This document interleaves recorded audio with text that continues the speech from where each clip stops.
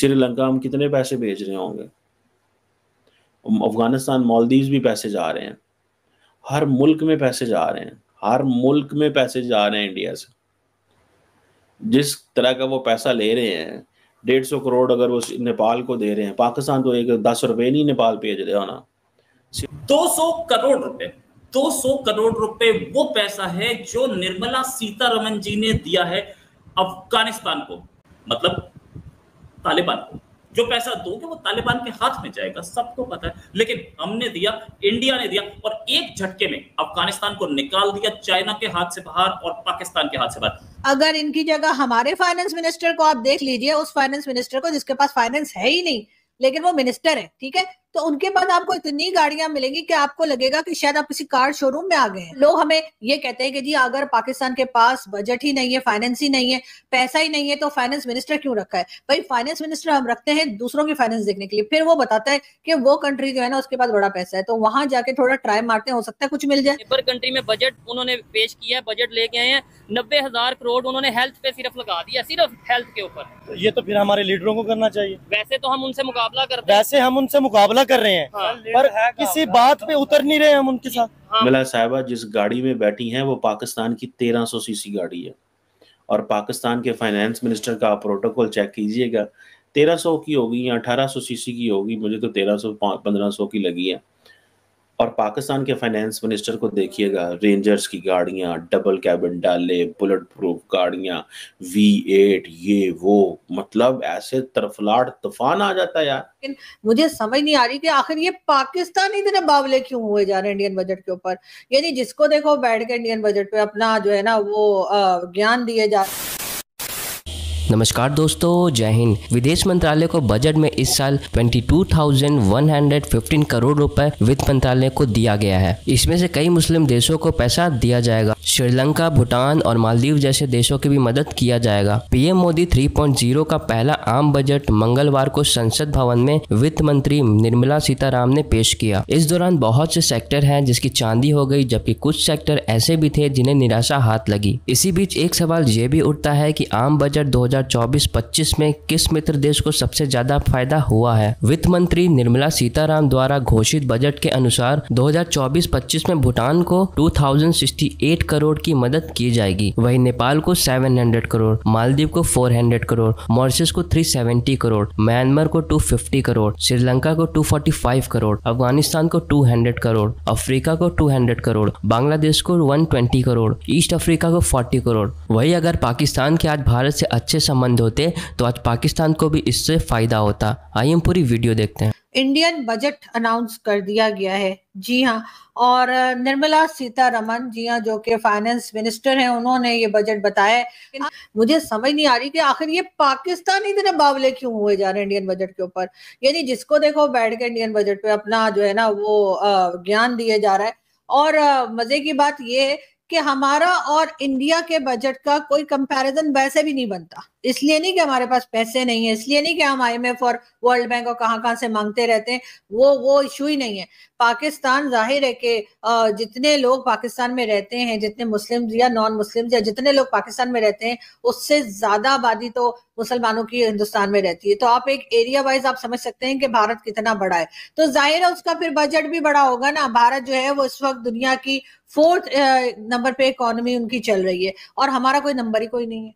तो हमें मतलब समझ नहीं आ रही है कि हमारे जो लोग हैं, हमारे जो यूट्यूबर्स हैं, हमारे जो मीडिया के लोग हैं धनी, सुबह से क्या बावले हुए में कि जी इंडिया का बजट आ गया इंडिया का बजट आ गया इंडिया ने पता है आपको डिफेंस बजट बढ़ा दिया चाइना के लिए। एक तो मुझे समझ नहीं आ रही कि वैसे ठीक है आपका बजट आप, है आपकी मर्ज़ी, आप लोगों को मतलब इंडियंस को कह रही हूँ, जो मर्ज़ी आप करें अपने बजट के साथ, जिस चीज़ की मर्ज़ी आप प्राइस बढ़ाएँ, जिसकी मर्ज़ी कम करें, ये डिफेंस बजट बढ़ा दिया है और हमारे कुछ लोगों का कहना ये कि ये डिफेंस बजट चाइना के लिए बढ़ाया गया है।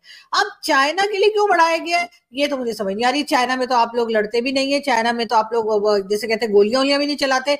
मुक्के, लाते और चपेड़े लगती हैं। आप लोग जाते हैं बॉर्डर पे, आपने यही तय करके रखा हुआ है कि आपने गोली नहीं चलानी है और आपने चाइनीज़ को सिर्फ़ चपेड़ पे चपेड़ चपेड़ पे चपेड़ लगानी है, उसे चार पाँच हमारी तरफ़ से भी लगा दिया करें। सी पैक पे काम नहीं करे ना ठीक से इसलिए। हम तो मार नहीं सकते, आपको पता है हमारी तो मजबूरी है। हमने तो उनसे इतना पैसा पकड़ रखा है कि अगर हमने उनकी तरफ़ एक उंगली भी उठा के कहा ना कि चपेड़े मारेंगे तो उन्होंने जो है ना वो हमारे मुँह सुझा देने।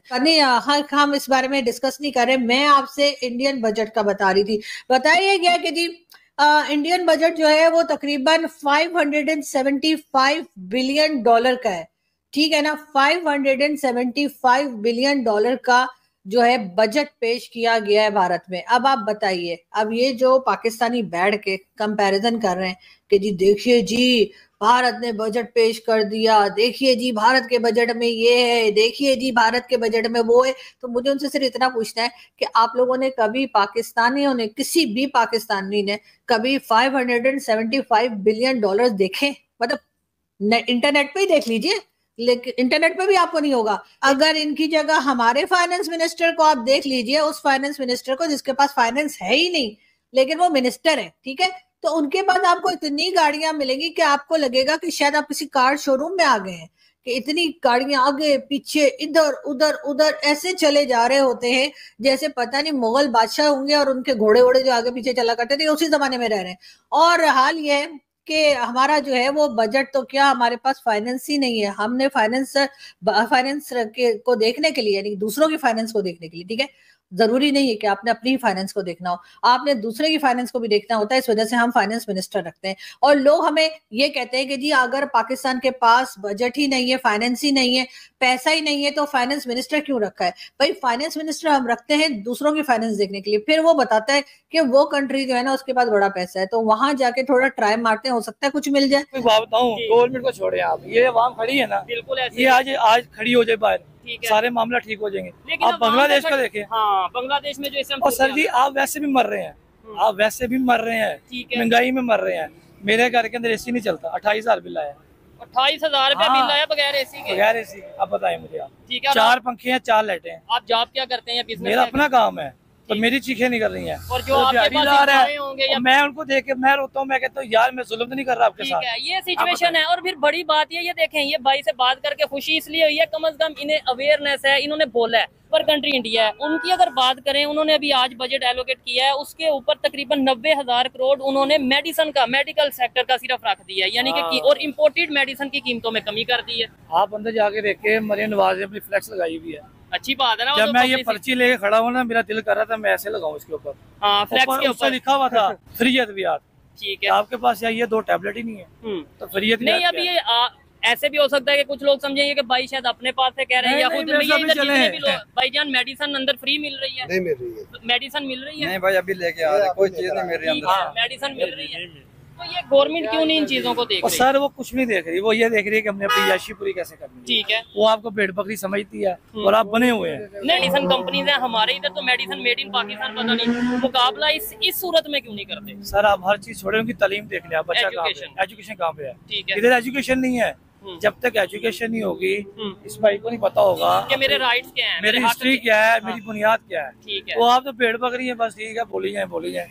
पर कंट्री में बजट उन्होंने पेश किया है बजट लेके आए हैं। नब्बे हज़ार करोड़ उन्होंने हेल्थ पे सिर्फ़ लगा दिया सिर्फ़ हेल्थ के ऊपर। तो ये तो फिर हमारे लीडरों को करना चाहिए। वैसे तो हम उनसे मुकाबला करते हैं। वैसे हम उनसे मुकाबला कर रहे हैं हाँ। पर किसी बात पे उतर नहीं रहे हम उनके साथ। हाँ मुकाबले में आ नहीं रहे। मुकाबले में आ नहीं रहे हम क्या? और हमारी सुने सुनाई जा नहीं रही। ठीक है हम हेल्थ में उनका मुकाबला कर पाएँगे इंडिया का? नहीं कहाँ एजुकेशन में उनका मुकाबला? बिल्कुल नहीं कर पाएँगे। आईटी सेक्टर मतलब टेक्नोलॉजी में? नहीं किसी चीज़ में भी कोई मुकाबला नहीं।